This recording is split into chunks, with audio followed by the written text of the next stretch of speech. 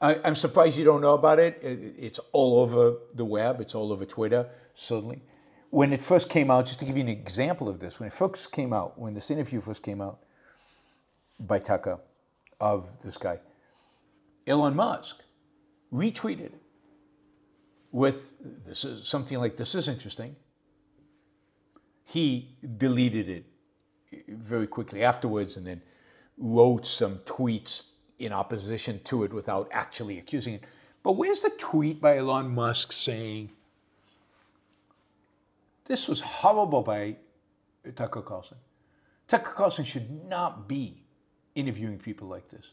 Indeed, this is this is just horrific that Tucker has sunk this low. Where's that tweet by Elon Musk? And I know we're not supposed to criticize Elon Musk. He's John Galt to many of you. But that's creepy that Elon Musk will not condemn a Nazi apologist, a Nazi sympathizer, really. It's more than an apologist. He's a sympathizer at this point. Uh,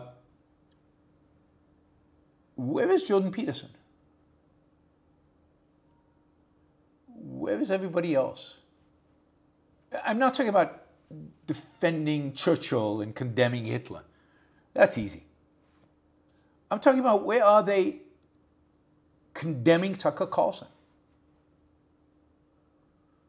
Where are they condemning him for doing this interview, for publishing it?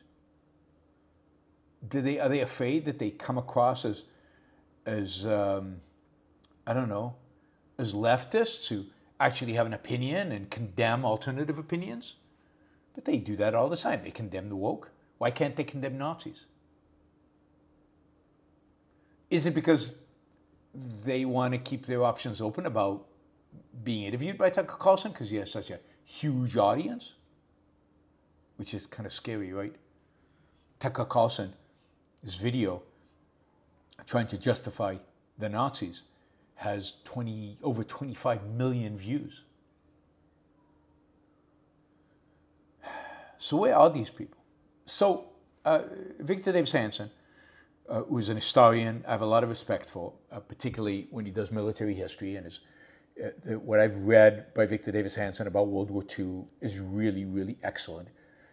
Uh, so uh, Victor Davis Hanson had a piece in the Free Press, as did Niall Ferguson, um, and this is Victor Davis Hanson's opening, right?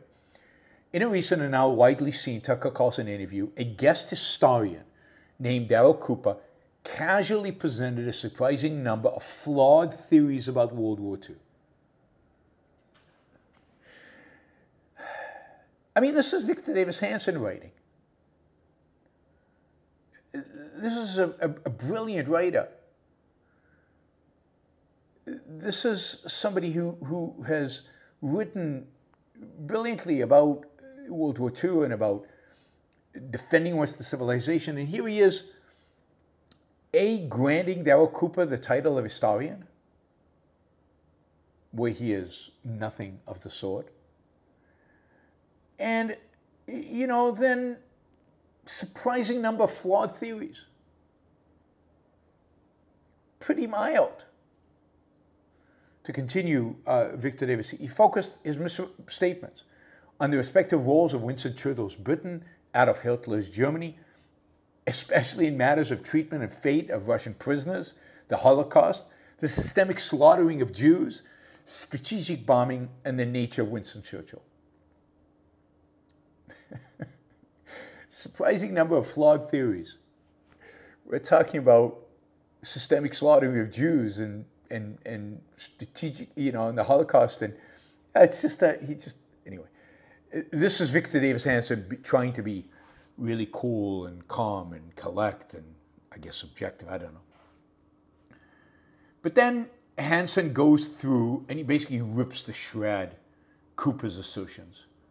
Uh, Cooper makes this assertion about uh, you know all those killings of, of in 1941 of German, of, of Poles and Russians and Jews and all of that. Oh, that was a mistake, you know, that was a mistake, logistics. The Nazis didn't have the logistics to deal with it. They engaged, they, they started this war, and suddenly uh, they were flooded with millions of these people in camps, and they didn't and they didn't know what to do with them, and and, and a lot of them died. That was Cooper's. That's literally the way Cooper presents it.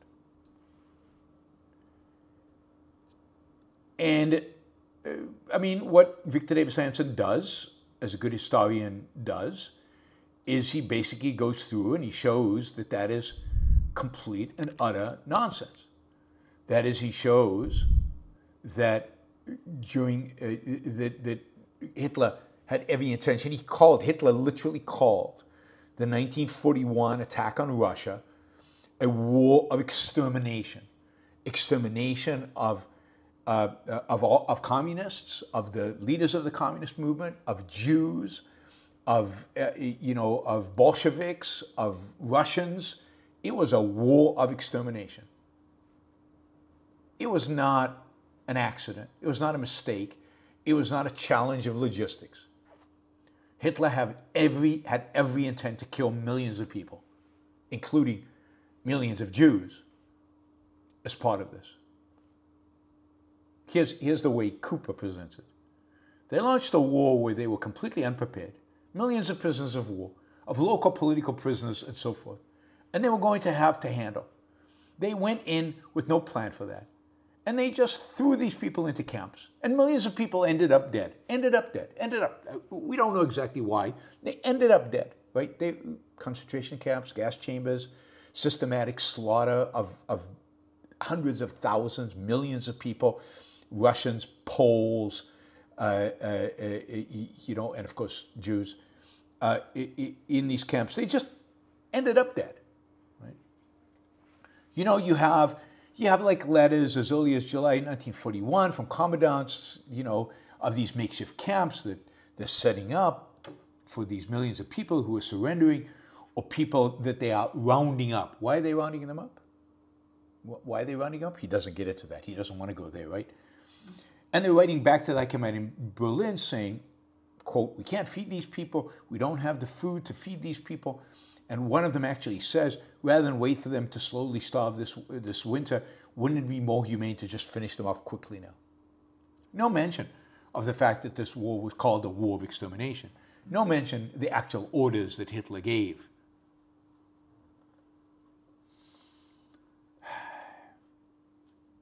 And Victor Davis Hanson, and then Niall Ferguson, do an excellent job of just eviscerating this. And you know, Niall Ferguson says, note that at no point in their conversation do Carlson and Cooper mention the Holocaust. The word genocide is never uttered. They talk about Jews a good deal, but not as the principal victim of Hitler's lethal racial policies. They don't exist. Victor Davis Hanson, you know, it presents all the evidence of the fact that Hitler started this war, Hitler knew exactly what he was doing. And that this was a, you know, this was a, uh, uh, you know, th these weren't accidents that happened. But where's the moral fire? Where's the condemnation of Tucker Carlson? Where Victor Davis Hanson and Niall Ferguson really get, you know, uh, excited is, is uh, where this Cooper guy attacks Churchill. Uh, Cooper, in the interview with Churchill, basically, in the interview with Tucker Carlson, basically said Churchill is the chief villain of World War II. He is the number one villain of World War II. He's the bad guy. Hitler might be a villain too, but the villain of World War II is, is Churchill. Now here, it, you know, they, they get really, uh, they, they provide all the evidence to suggest this is completely wrong and this is not true. By the way, one of the things Cooper says about Churchill is one of the reasons uh, Churchill wanted the war, right? Um, uh, Hitler supposedly, according to Cooper, constantly vied for peace, constantly wanted peace, and Churchill kept going, kept going. And not only kept going, but, but, but insisted on slaughtering millions of German civilians. And one of the reasons Churchill did this is because he was basically in the cop in the pocket of Jews, of pro Zionist elements, Jews in, in the West. Churchill also conspired to get the United States into the war. And again, if you want to, if you want the analysis of why that is completely wrong historically, it is completely wrong historically. Uh, Victor Davis Hanson and Niall Ferguson, uh, Niall Ferguson do a great job presenting that. But again, Ferguson has a little bit more anger, but almost all the anger is targeted towards Cooper. Almost none of it is towards Carlson.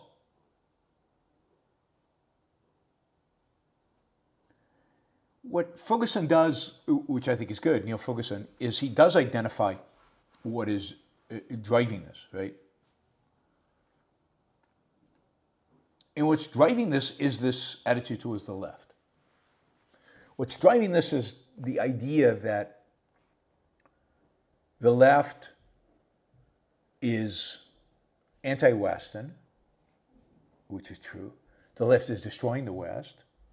The left is evil. The left is bad. And therefore, anything that opposes the left, and what is the opposite of the left? If we really push the envelope about the opposite of the left, according to these guys, it really is fascism. If we push the envelope on fascism, the real opposition to the left are the Nazis. They're the real opposition to the left, after all. I mean, why did Hitler launch this war, if not to destroy the Bolsheviks, to destroy communism, to destroy the left? In order to do what? According to Carlson and Cooper, basically in order to save Western civilization from destruction.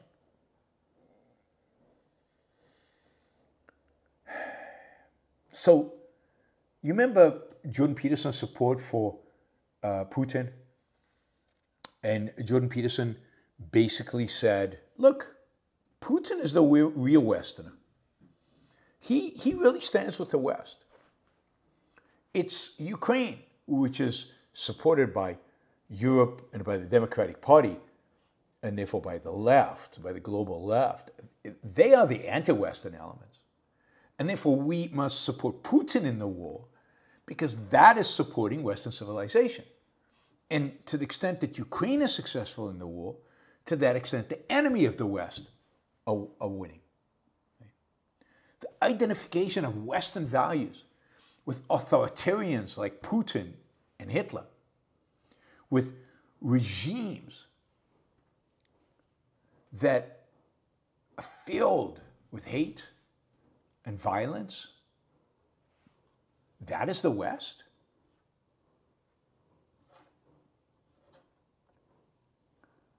So we have here a, a, a great example of how we have the modern American right conflating conflating the West with fascism, conflating the left, the, the, the, the, the West with authoritarianism, conflating it, of course, with religion or nationalism, or both, religious nationalism, in the case of Putin, religious nationalism, in the case of the Nazis, nationalism. But it was also mystical, it was also religious. Here's Tucker. Tucker says to Cooper at some point during the interview, as a follower of your work, I don't see you as hostile to the West, right? because he's promoting the Nazis after all. I see you actually as a product of the West, as in a defender, really, of the West and its values. So Cooper, who is saying Churchill is the bad guy, right? Churchill, one of the great heroes of modern Western civilization, a savior. Uh, how did uh, I mean? Uh, there's a there's a great quote here from Niall Ferguson about uh, yeah. I mean, this is Niall Ferguson about Churchill. I've never argued that Churchill was a saint any more than have his greatest biographers, and I have consistently echoed A.J.P. Taylor's verdict that he was quote the savior of his country. More. Churchill was the savior of Western civilization. Had he not stiffened British resolve in the time before Hitler, in his hubris, declared war on the Soviet Union and the United States, the repulsive, blood drenched empire that was the Third Reich might conceivably have won the war. True, Churchill made common cause with Stalin to beat Hitler. But he knew Stalin for the brutal dictator he was. And he was among the very first to see that World War II would soon be followed by Cold War I. So, but no, I mean, for Tucker, this Nazi um, apologist is Western civilization. Now, as, as uh, uh, uh, Niall Ferguson writes, this is a new and unusual use of the term West as, as a synonym for Third Reich, which is the only thing Cooper has thus far seemed serious about defending. Ferguson is completely right. Where's the condemnation of Tucker? I read the whole article, waiting for condemnation of Tucker. Where is it? Uh, he continues. Uh, this is again Ferguson. But as the conversation moves on, we see that this is, quote, the West, as it is understood in Moscow and Budapest these days. Well, maybe this is why we hesitate to, um, to go after Tucker, because now Ferguson might not be one of these Budapest sympathizers, Orban sympathizers, or sympathetic with Putin and Russia. But certainly many of his friends on the right are. Indeed, the entire Republican Party, the entire modern, new, MAGA conservative movement is enamored by Viktor Orban of Budapest and is sympathetic to Putin in Moscow. So it's clear that the West, as Tucker Carlson understands it, the West as Cooper understands it, is a fascist West. Uh, to continue with Niall Ferguson, for the Hungarians today, according to Cooper, quote, have no problem saying this is Hungary. This is a country for Hungarians. This is a Christian country. This is our country. They don't have a problem saying that. And then he goes on, comparing that to modern London, for example. Carl, Tucker Carlson says, quote, it's totally, this is about London. It's totally degraded. I try not to go there because it's so depressing. It's just so sad. It's so broken. It's not the country of victors. It's a defeated, completely defeated country that's subsequently been invaded. If Churchill is a hero, how come there are British girls begging for drugs on the streets of London? God, let that sink in. And London is not majority English anymore. Like what? Cooper says, well, the people who formulated the version of history that considers Churchill a hero, they like London the way it is now. Now, it's people like Niall Ferguson and Victor Davis uh, Hanson that have done the history that considers Churchill a hero, among hundreds, thousands of others. And yet they are so placid, so calm in condemning Tucker Carlson. Um, here's Darryl Cooper about the post-World War II, what happened. He says, quote, the post-World War II order is really defined by the fact that, you know, after Nuremberg, it really became effectively illegal in the West to be like genuinely, genuinely right-wing. Like the things we call right-wing, unquote. As Ferguson writes, the only right-wing parties that are illegal in Europe today are the Nazi parties. And the only people who regard the Nuremberg, Nuremberg war crime trials as sacrificial rituals, Cooper, are Nazis. So uh, there's no, there's no question here about what Cooper represents. Cooper is an apologist for the Nazis. He's resurrecting Nazi ideology. He's resurrecting the anti-Semitic view that the Jews were behind the whole thing and that they manipulated it all. and you know maybe maybe you know maybe he didn't go about it the right way, but maybe Hitler had the right idea about the Jews. And again, this is not coming from some fringe.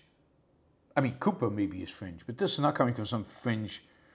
Um, uh, you know, minor podcaster out there. This is coming from Tucker Carlson, who used to have, just until recently, the most popular television show in America on Fox. And today has one of the largest audiences, maybe second or third to, to Joe Rogan in the world, or in the US at least, I don't know about the world. And he is promoting Nazism. And he's promoting Nazism as the solution to the left, as the alternative to the left. And he's still being treated as if he's just the old Tucker Carlson, just, just a guy who's asking questions. He's, you know, uh, are people not going on a show because of this? I, I just saw he's on a tour right now. He's in Denver on a tour. And he's got guests, pretty prominent people coming to be on a show. Nobody's saying, oh, no, no, this is, he's a Nazi apologist now. We're not going on a show. Is Elon Musk thinking of not retweeting him again? I doubt it.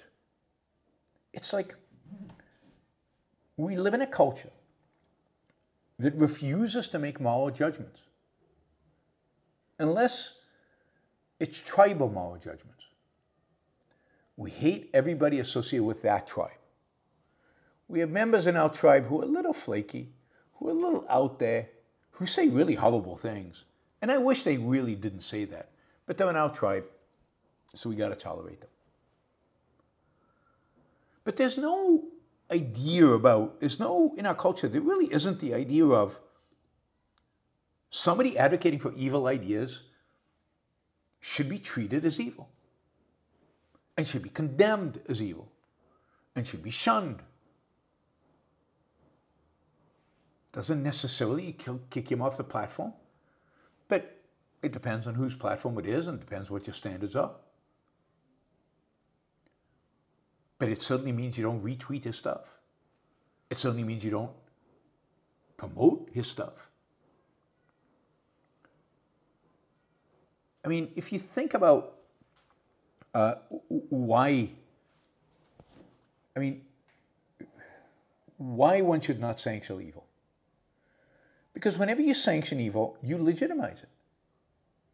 Whenever Elon Musk retweets a tweet by Tucker Carlson, he legitimizes Tucker Carlson.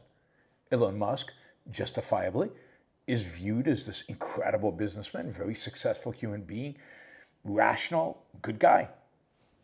As you know, I don't think he always is. But that's how he's viewed in the culture. And every time he retweets Tucker Carlson, people go, well, Tucker Carlson must be okay. Victor Davis Hanson is a prominent historian. I disagree with him on a lot of stuff, his attitude towards Trump. Certainly, I disagree with him about immigration. But, you know, he's a respected historian. And I have a lot of respect for him as an historian. Him, his silence about Tucker Carlson while condemning the historian that was on Tucker Carlson's show is deafening.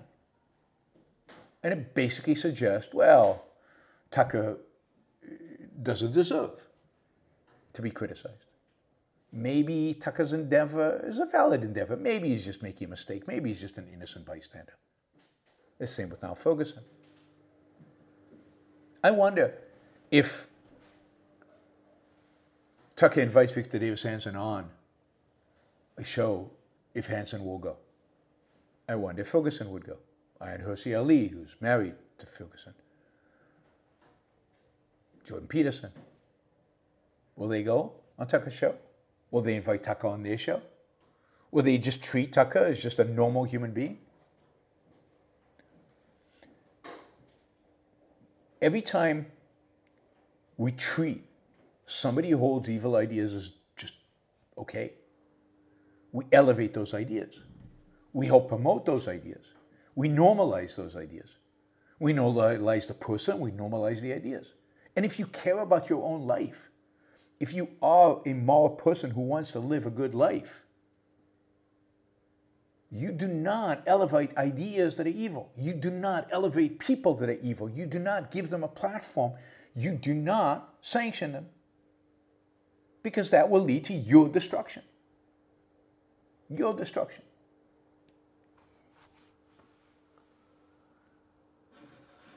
So the only attitude towards Tucker Carlson is to shun him, to turn him off, and to condemn him everywhere and at every opportunity possible. Because this is exactly what happened in Germany. Many of the intellectuals were silent about the evil that Hitler represented. Many of the intellectuals said, well, but at least he's against the communists. At least he's against the left. At least he'll bring order. There's chaos in our streets. At least they'll bring some order. And the various Nazi propagandists and activists and movements that were out there, they were all tolerated, they were all accepted.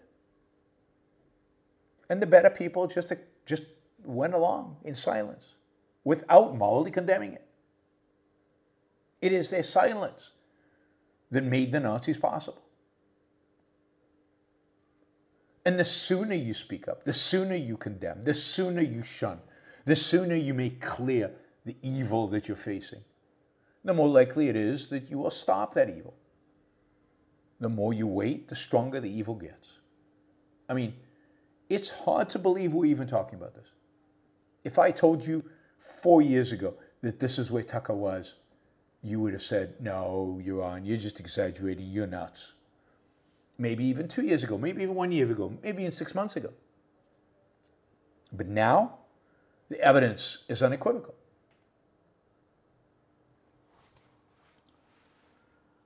So, uh, this is not, I don't think in morality this is optional. It is necessary uh, to condemn him. And, and those of you who still want some kind of big tent coalition with these bastards,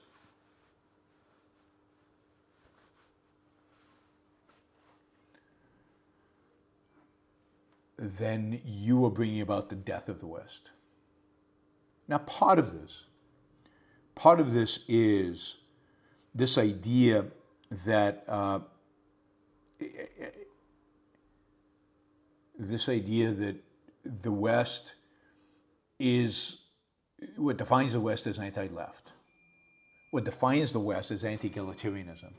What defines the West is anti what the left represents. That's just not true. That's not what the West is. Or that what defines the West is nationalism. Or what defines the West is Christianity. Just not true. Indeed, the West is the rejection of all those things. The West is a universalist ideology. It's not a nationalist ideology. The West is a secular ideology. It is not a religious ideology.